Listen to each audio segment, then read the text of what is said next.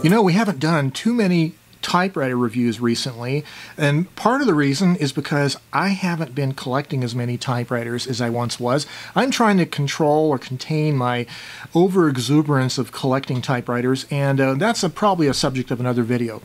But I do have a friend, fellow Albuquerque typist Kevin Kittle, and he has been on a ultra portable typewriter collecting binge. Well, good day, everybody. This is Joe Van Cleave with my friend Kevin Kittle. Welcome, Kevin, back to the channel. Thank you. And we are going to do a little review of this ultra portable typewriter, the Maritsa Princess. Right. And they, what it is, it's a Princess typewriter, and then in the mid 60s, the original manufacturer of the uh, Princess stopped making them, and they sold the tooling or the rights to uh, Typewriter Works in Bulgaria and then they renamed the typewriter uh, Maritsa. And sometimes it might be called Maritsa 10 or 11. Mm. And then they came up with some other different uh, models after that. And so that's what we've got. Okay, very good. Well, let's take it out of the case and take a look at it. Okay, so. And what you'll first notice, it's got this really cool clamshell case. Yes. With Ooh. really neat interior Red and fabric. black checkered Ooh, that's sweet. Yes. Yes. And it's got a nice little flap here for holding paper and stuff like that. And they're just really cool. Yeah.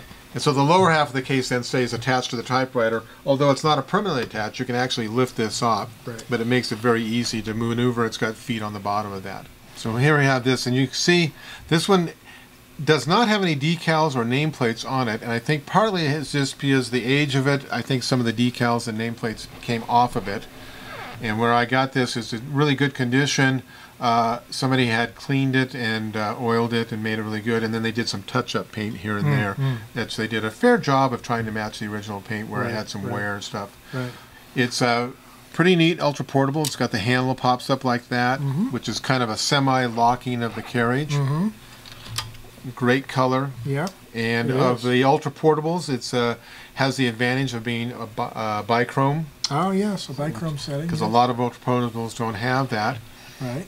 and then it's got a very nice little uh, paper holder here that pops up Mm-hmm.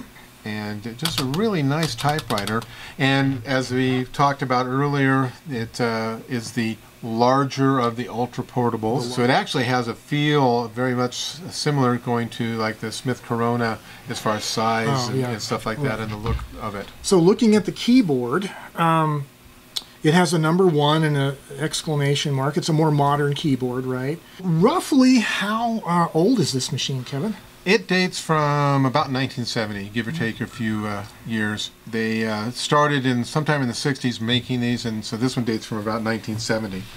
It's a handsome machine. It really is. Yeah, it's a nice, good look. It's like that curve Yeah, body to it, yeah. makes it really nice.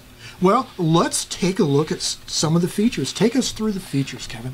Well, as we started from the uh, back, it uh, we have a nice uh, paper support here that's spring-loaded, and then margin settings there. And then it also has, when you come onto this side here, you have your pressure roller, uh, paper alignment lever, Mm-hmm. and then it has a carriage relief just on one side. Right. And it- it, presses down. Do you like that press down versus pulling it from the back? You know? eh, it's kind of hard to say. You know, my Yeah. Underwood has that same feature, Yeah. and uh, you get used to it. Yeah, So yeah. I'm not. I think pulling from the back, but the problem is some of them when you pull from the back, then you mess up with another lever and you Yeah. grab the wrong one or something like yeah, that. true. Particularly on the Olympias, you Right. end up uh, clearing all your tabs yeah, exactly. because you grab the wrong lever. So you have a, a little paper bale that reminds me a lot of the Japanese portables, right? A thin metal bale that's been plated with the engraved letter uh, markings or line yeah, markings. and you need to grab the tabs to lift them up on either side. Right.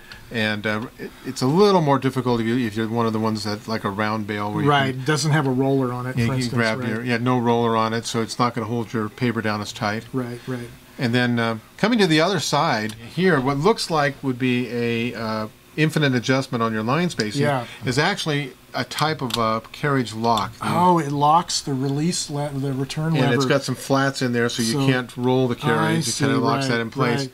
And um, Ah. now that works pretty well. It has a disadvantage though when you're doing the carriage release, I mean carriage movement of the line there is you can press it down too far. Ah, okay. and that's where you can see where some Mark of the up the scarring there. case there. Now, does it also would it interfere with ratcheting? Like if you did the what is it, the two line? Um, would, Yeah, would it would it be possible not to go far enough? I guess it still goes far enough It still goes far without enough, yeah. before it hits the knob. Okay. Yeah. Yeah. And then there, here's that's your uh, line spacing, and then this uh, the back button is your uh, indexed. Uh, Oh, okay. Infinite control. Infinite control, but it always goes back to the original setting when you Right. release it. So, if you're uh, typing on a form or something, uh, you're you're not gonna you don't want to flip it back, otherwise you- you'll lose that. Yeah. Right, you just leave that open all the time, and, And hope your line doesn't skip just Yeah, due to hopefully you have enough pressure that it's not Yeah. going to slide on its own. right, right. Now you do have a, a little flap here, spring loaded for the paper, uh, like a uh, like a erasing table kind of like right, Right. with some little felt pads underneath it. And then so you also have your index guide. And it's got a couple of slots here for putting your pencil in for Oh yeah. For doing that. And, and this this is tall enough that actually your card holder is, is Okay. fairly good. Now I noticed the curvature on these card holders. There's quite a bit of room between the the finger and the platen. So probably when you're well, obviously there's no rollers on the paper bale, so you're not going to be able to thread paper up through it and go underneath the bale. No, you're going to have to lift flip it first, right? Yeah, absolutely. Yeah. And then in the keyboard, it's Yeah. got a standard United States QWERTY keyboard as opposed to a British one or an Right. English one, which because it has the dollar sign and no and the modern sign. keyboard with a number one exclamation mark plus and equals. Right. Right, full featured as far as the keyboard. Yeah, pretty standard. American one. Bichrome Oh yeah. color Yeah, choices. well, so- not all the ultra portables have that. Right.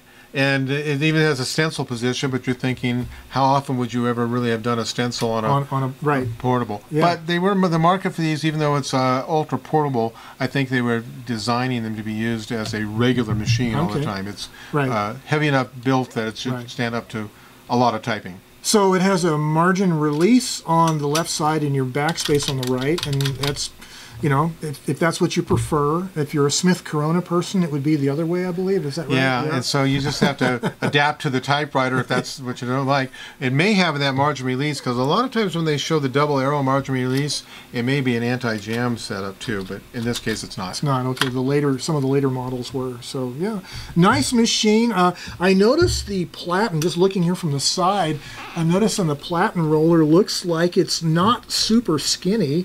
It looks like it's maybe over an inch in diameter, maybe like an inch and an eighth almost, a little bit bigger than an inch, which is pretty good size for an ultra portable. Right. Considering you know some of your like Skyriters and rockets, they're they're like maybe an inch. Yeah, three know, quarters of an yeah, inch, yeah. and they're pretty small. Yeah, The ribbon right. cover, yeah, we can take this. Here, of course, now it's on there tight, Yep. but it just pops off. It doesn't have any uh, sound insulation, although it looks like They it may have been at one that 'cause time. it looks like there's some uh, residual glue, Uh huh. And um, so I may have had that at one So time. So you have a smaller than standard size uh, ribbon spools.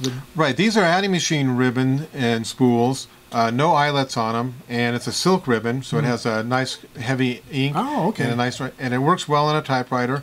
For some reason, uh, the spool on these is just a little bit large for some of the universal spools. Oh, the spindle? The Yeah, spindle. yeah, yeah. And um, so these adding machine works really well, and just fits nicely in this typewriter. so maybe some European DIN standard of spool or something Right. that you can't get. That's not an American standard, perhaps, or something. Yeah, so you, you would probably find that if you collect enough spools, you probably Okay. come across ones that have the larger spindle. So these have the uh, anti-backlash or whatever uh, tension arms that keeps the the reel pack a little bit of back tension, which is a nice feature. And then the ribbon reverse is uh, based on uh, tension of uh, on the arms to re- ribbon reverse rather than an eyelet. And so, on this Ah. Machine, yeah. you wouldn't use an eyelet at all. So it almost makes sense to use an adding machine ribbon Right. in that sense, because you're not going to have an eyelet on an adding machine ribbon anyways. Yeah. And so that because if you had an eyelet on here, it would go through the guide and then it would hang up on Oh, the uh, ribbon vibrator. Is this a, uh standard Pica typeface on this machine? Pretty standard Yeah. Pica typeface. Mhm, Good. And it has the rubber tube style uh, type bar rest. I Right. see underneath there. Yeah. Yeah, and it doesn't. Uh, when I got this, it had been cleaned up pretty well, so they nicely oiled and cleaned Oh, nice. up, and uh, just a real good solid machine. Well, I think uh, we ought to put a piece of paper in and. Uh, oh, I think you should out. try it. You should you just type it and see what you think. I'm going to do that. It's good to use wrinkly paper, don't you think? I think it's good that we're, we're actually utilizing a full sheet of paper that may have been tossed out. We're we're being green. Well, you know the fact that we're actually using uh, reusing paper in itself. Yeah, actually, uh, what happened here? Oh, see, that's the thing. This thing drags. Ah, It's a little bit on the loose it's side. on the there. loose side. Yeah, yeah. Okay. Ah, see, that's where we need our. Uh, That's our, our trusty Swiss Army knife. our trusty Swiss Army knife is going to help us out here because it seems like that return lever needs to be tightened.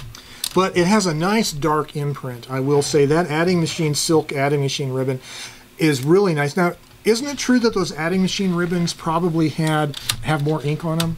I think they are he- Yeah. more heavily inked. So if you're looking for an inky ribbon, and I wonder if this needs to be a shoulder screw It's hard to say. It, might be a shoulder screw. It may not.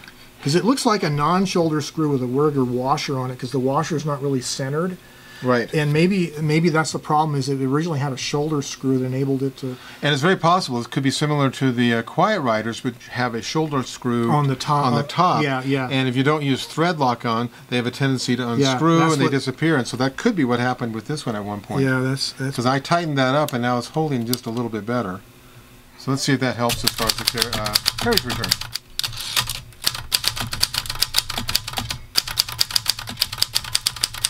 And one thing I've noticed that we had a difficult time with when we first got it, about the only adjustment we needed to make, had to do with the ribbon vibrator. yeah And, and we had to take the case off, and the whole actual mechanism is on the left down there. Yeah. And it's real sensitive the way it's designed. Yeah. And so I got it as best as I could, where the black has no red showing when it's done. Right. But if you go to the red, you're going to get the occasional little bit of black on it. Yes, And it's just a real, Yeah. yeah, just right on the top. It's just a real fine margin. Yeah. And um, yeah.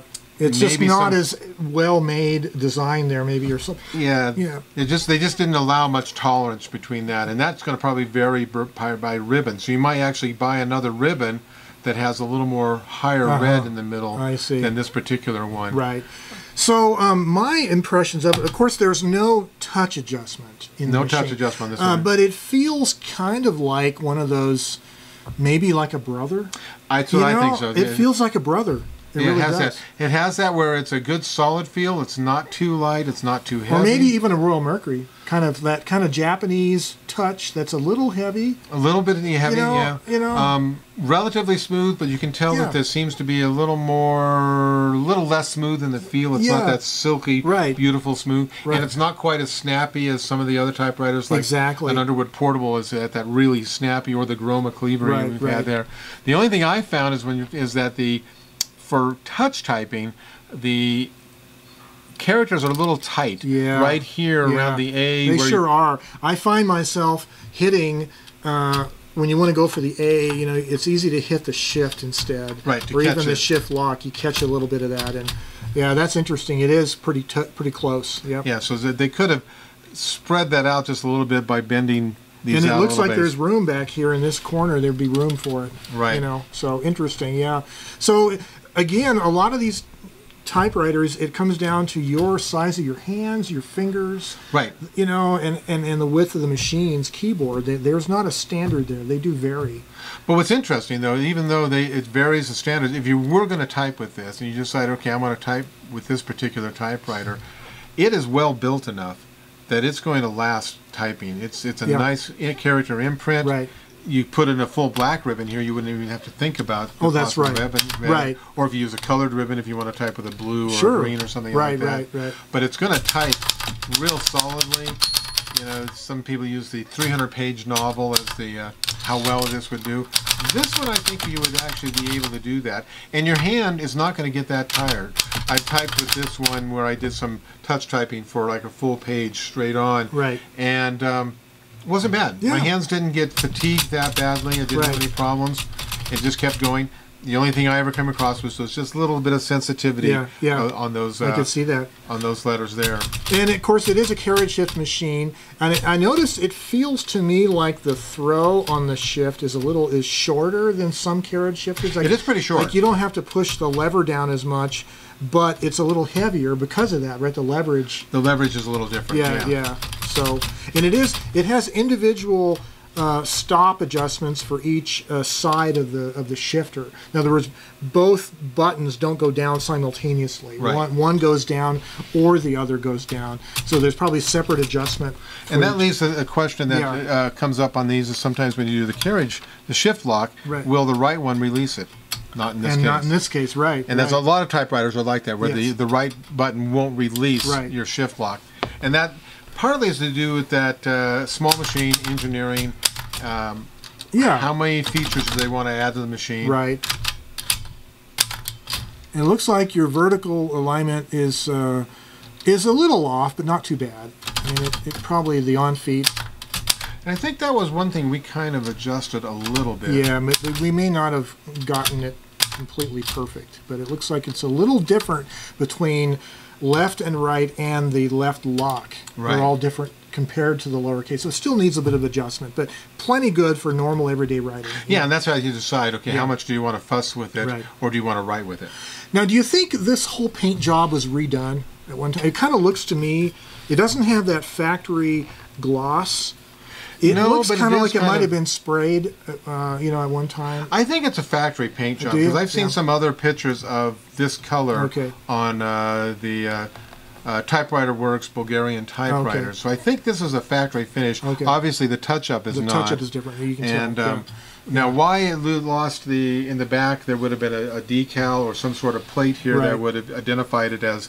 Uh, and you can see where the glue was. Right. It was glued on the plate that would have said Typewriter Works yeah. Bulgarian. See, the other thing I see is like this this erasing table is glossier and smoother than the rest of it.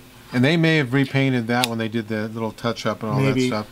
And, or maybe um, this is original and the other is not. I don't and know. And I've seen photographs Yeah. of the Maritsas where they had kind of a script oh, okay. label on label here, there, yeah. and it, it kind of disappeared. And I'm just thinking, well, maybe just over time, you know, So, so these are just unglued. these are just artifacts of this individual sample. Of course, if you bought one out there uh, somewhere else, it might be totally different. You might have a different paint job or whatever Right. condition. But I think it is representative of what you would find in a princess, because you know, Oh, okay, you know princesses, when you see them for sale, are often uh, on the higher end as Oh, far yeah. as cost. Yeah, You know, they're that's more true. expensive, Right. and. Um, and, and, and they're a good typewriter. Are you getting your money's worth? Is it worth spending the extra money on Princess? Yeah, I think you get a good typewriter.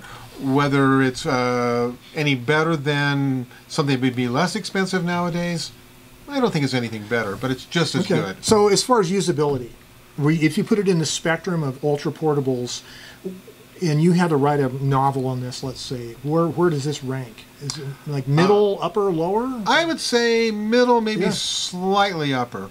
Okay. Uh, and then it's going to be the, the only thing that may make it go slightly upper is if uh, you uh, jived with the keyboard better. If it Okay. actually, Oh, yeah. the way it feels Right. feels better to you, then Right. it may be on the higher. If it doesn't go that higher, then it's probably right in the middle. It's Okay. going to be as good as a Skyriter. It's going to be as good as almost anything out Okay, there. very good. Um, it's not going to break. Um, even though the adjustment for the ribbon vibrator was a little futzy, once it's adjusted, it doesn't go out of adjustment. Right, it stays right. pretty much steady. Well, very good. Yeah. Yeah. it's a cool machine. It's pretty. I, I'm certainly impressed with that black and red checkered lining on the case, though. Oh, yeah. that's pretty.